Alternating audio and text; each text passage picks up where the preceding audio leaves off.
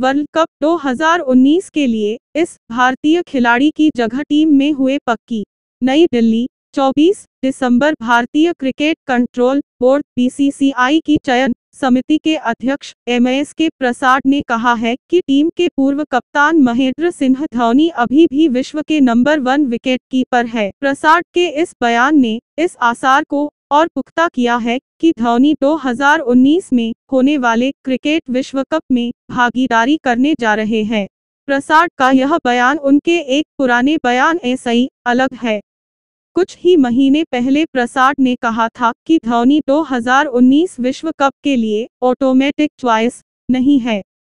प्रसाद के इस बयान के बाद सोशल मीडिया पर उनकी काफ़ी आलोचना हुई थी, लेकिन प्रसाद के हालिया बयान ने धोनी की 2019 की दावेदारी को एक तरह ऐसा ही बेहद मज़बूत कर दिया है। प्रसाद के नज़रिए में बदलाव की सबसे बड़ी वजह धोनी का विकेट के पीछे बेहतरीन प्रदर्शन और कठिन समय में बल्ले ऐसा ही अपना जौहार दिखाना है।